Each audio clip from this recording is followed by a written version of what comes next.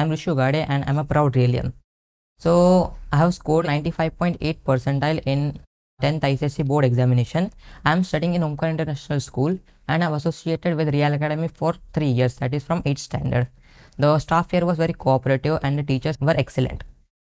So I was able to clear all my doubts very without any problem and because of which I have scored so much good marks in 10th ICSE examination. My favorite activity was the Merchant of Venice cascade competition because of which I was able to learn the Merchant of Venice act very deeply.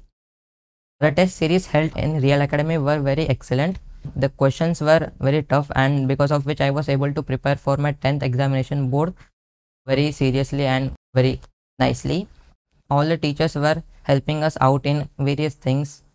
I was part of their foundation course which I applied in 9th and 10th for my better future for like 11th and 12th standard and also preparing for IIT. I was also part of their foundation course finale such as PowerPoint presentation and also of the science projects because where I have also achieved a third rank and first rank. So I'm very proud to be a part of Real Academy. Thank you.